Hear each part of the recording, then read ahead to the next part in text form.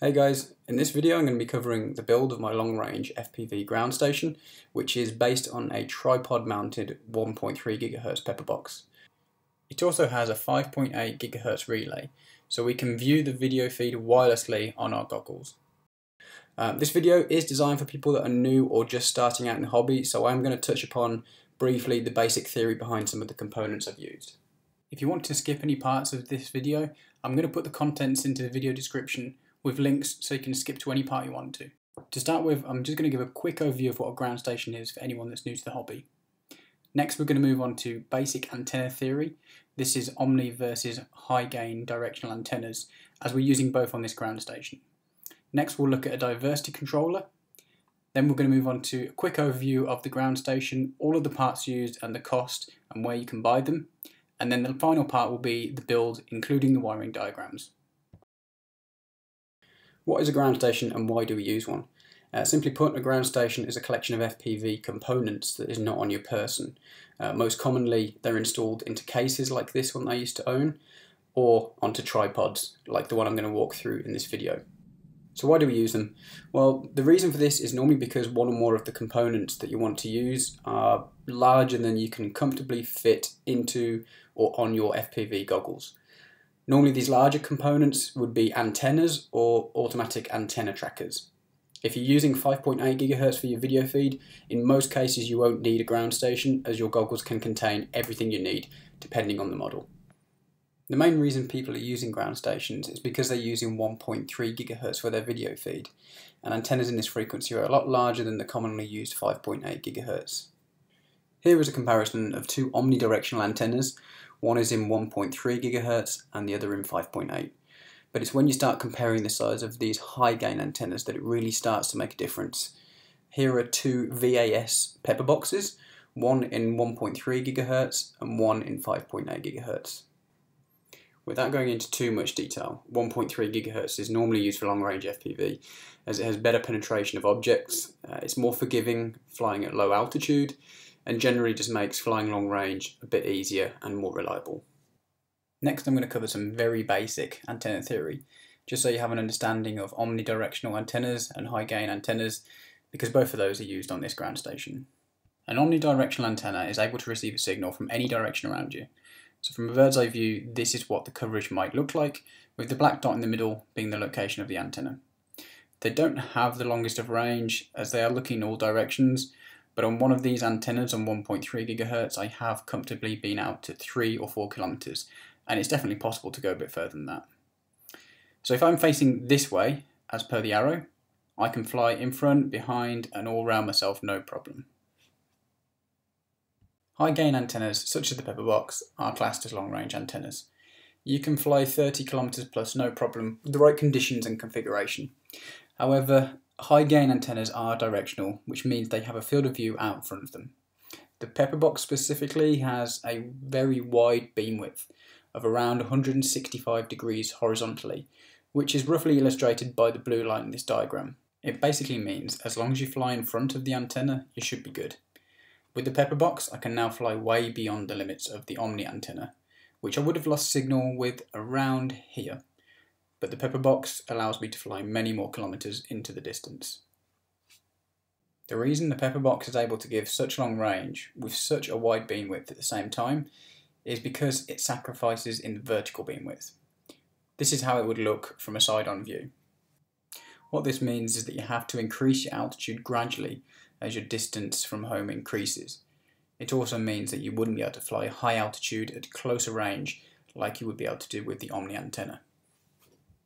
So now you have a decision to make. You've got your 1.3 gigahertz receiver, but do you connect the Omni antenna, allowing you to fly in all directions around yourself, but not very long range?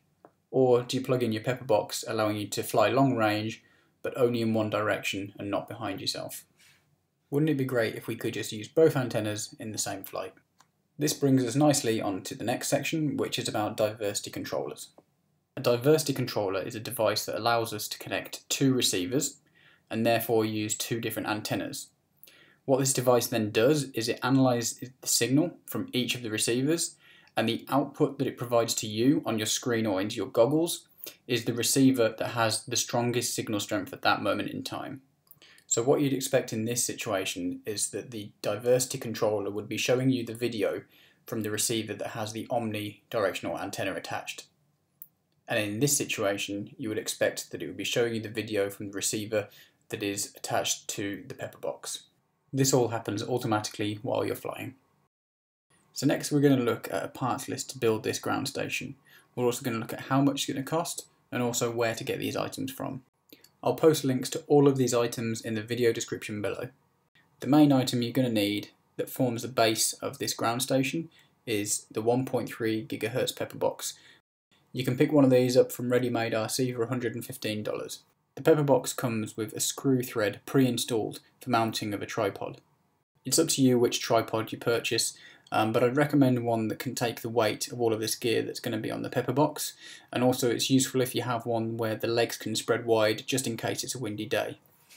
The one I went for is a K&F Concept tripod, which can be purchased on Amazon for $70. Next part you'll need is an omnidirectional antenna. I got the Mad Mushroom from Ready Made RC for 21.50. You need to ensure that the polarization of all of your antennas are matching. This one seen here is right hand circular polarized, so you need to make sure that the one on your aircraft, the Omni antenna on your ground station, and the pepper box on your ground station are all matching in polarization. Next you're going to need two video receivers in 1.3 GHz. The ones I have are these ones from Ready Made RC and they're $55 each. The next item on my ground station is a DVR. Basically this is just recording the live downlink from the aircraft and the reason this is really useful is because if you do have any trouble at any point uh, you'll be able to go back and watch the footage and see your last known GPS coordinates. You can get the DVR I have from getfpv.com for $105. It might be that you already have a DVR built into your goggles in which case you wouldn't need to purchase one of these. The next item you need is the diversity controller, which is something we discussed earlier in this video. You can purchase one of these from Hobby Wireless for $190. The next item you'll need is a power distribution board. Basically this is going to be used to supply power to every single item that is on the ground station and you, any simple board will do. I just had this one lying around, it was unused from a quad build I did um, so if you've got one lying around, use that. If you want to use the same one as me, you can get this one from Banggood for just $2. I also added this optional voltage meter here onto the PDB. All this does is show the current voltage of your ground station battery. You can purchase one on Banggood for just $4 if you wish. The final item on the list is a 5.8 GHz video transmitter. I highly recommend you choose a very low output for this. 25 milliwatts is plenty for this application. If you're in the same field as your ground station, you're going to receive the picture perfectly clear, and you don't want to swamp anyone else around you that's flying on 5.8. The one I purchased is this Eachine TX801 from Banggood for just $20. Now that we've been through all the parts, here is a summary and a grand total which is $637.50. If you wanted to try and build one of these on a slightly lower budget, you can actually really reduce the cost if you don't want to use diversity. If you just go ahead and use a pepper box without the omnidirectional antenna, this will actually bring the total cost down to $371. If you want to bring it down even more and you don't include a DVR, this can bring the cost of the ground station down to $266. Remember this list is also recorded in the video description below and it contains links to every item. This brings us on to the final part of the video which is the build of the ground station including the wiring. Firstly, we're going to look at this very simple wiring diagram of the ground station. We're going to do this in two parts. The first one is how we connect the components on the ground station, and then the second part is going to be how we provide power to each of them. The simple part to start with is that we have two receivers and we have two antennas. So we're going to connect those two antennas to those receivers. Next what we're going to do is we're going to use the supplied cables to connect the video receivers to the video inputs on the back of the Diversity Demon. It actually has three inputs on the back, we're only going to use two of them on this ground station. Now that we've connected the two receivers to the Diversity Demon, it's receiving the video signal. Now what we need to do is we need to connect the two outputs that it has to the two devices. So using the supplied cables with the Diversity Demon, you can connect AV1 or AV2 to the DVR and then the other one we need to connect to the video transmitter.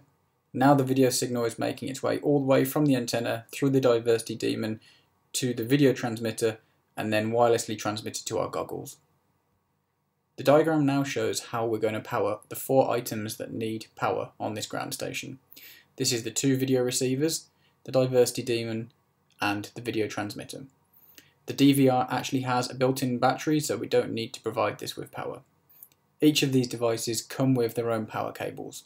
In most cases you will need to cut them and then solder them onto the power distribution board. It doesn't matter where on the power distribution board as long as you wire the red to the plus and the black to the negative. All of these items run off 12 volt so I'll simply be powering this ground station with a 3S LiPo. So this is actually all of the wiring done. It really is as simple as that. I'd say the hardest part about putting this together is really just cutting the cables and having to solder them. Next we're going to take a look at the ground station and see how we physically put all of this together. To start with I'm going to go through the first wiring diagram which is connecting all of the components on the ground station. Here on the back of the diversity Demon is where you'll find the video input channels. This is where we're going to connect both of our receivers. The first receiver is connected via the video output to RX1 in the diversity Demon. As with most of the wiring on my ground station, what I've done is I've used the supplied cables, um, but I've cut them to exactly the right length that I wanted them and resoldered them. It's up to you if you want to adopt the same approach as me here. I only did this to keep the wiring nice and tidy on the ground station. This first receiver is connected to the Pepperbox antenna. Over here we have the second receiver which has the omnidirectional antenna mounted to it what I've done is I have mounted this receiver as close to the top of the pepper box possible, um, just so that the Omni antenna gets good clearance above the pepper box. In terms of mounting all of the components onto the back of this pepper box, I've not done anything fancy, I've just used hot glue. The only exception to this is for the DVR. For this I've used Velcro to mount it, and that's just because I like to be able to remove it. Uh, the reason I remove it is for when I'm charging it, or also if you're looking for a lost model, you might need to carry it around a field. The second receiver is also connected through the video output into the second RX input on the back of the diversity Demon. On the other side of the diversity Demon you will find the two video outputs, AV1 and AV2. Here I have AV2 running across to the DVR. A few dabs of hot glue to keep that in place. AV1 I have connected to the signal or the video yellow cable on the video transmitter. This 5.8 GHz relay is mounted close to the bottom of the pepper box. You can fold the antenna out here like this just to give it some clearance. I just wanted to point out that AV1 and AV2, they both provide exactly the same output. The only reason there are two ports there is so you can provide the output to multiple devices. Now that all of the components are connected together, we need to provide power to them. Using the supplied cable, connect the 12 volt power source on the receiver to the plus and minus pads on the power distribution board. It doesn't matter which of the plus and minus pads you solder onto for each of the devices here, just do whatever makes sense in terms of the layout of your components. Something else I've done here once I've finished all my soldering was I insulated each of the connections with a bit of hot glue. This is just in case of something like rain or if you touch the PDB with a metal item which might bridge the connections. Now do the same for the second video transmitter, connecting the 12 volt to the plus and minus on the power distribution board. This nice short cable here is the one that's providing power to the diversity Demon. This one again is soldered to the plus and minus on the PDB. Make sure this is plugged into the power input on the front of the diversity Demon on the same side as the video outputs. Next you can solder on the power cables for the VTX. If you're using a different video transmitter to the one that I recommended earlier, make sure that it accepts 12 volt because we're going to be powering this ground station with a 3S LiPo as that's what the other components accept. On the bottom pads of the PDB, you're going to want to solder on a cable with a connector that suits your batteries. In my case, I use an XT60, so that's what I've soldered on here. Connecting your battery here is what's going to supply the power to all of the devices on your ground station. If you have any other devices that you might want to power in the field from this ground station, you can just solder on some other random connectors. This one here that I've added is to power my Fat Shark goggles just in case the battery dies. The voltage meter is hot glued in place on the PDB and the cables fed through this hole here are then soldered to the pads on the back of this board. To mount the PDB to the pepper box I've used the nylon screws for flight controllers and just hot glued them to the back of the pepper box. This way it's still removable if I need to take it off for any reason. This brings us to the end of my ground station build video. You should now have all the knowledge to be able to put this together and also the understanding as to why we're using all of the components used. Thanks for watching and please post any questions in the comments below the video.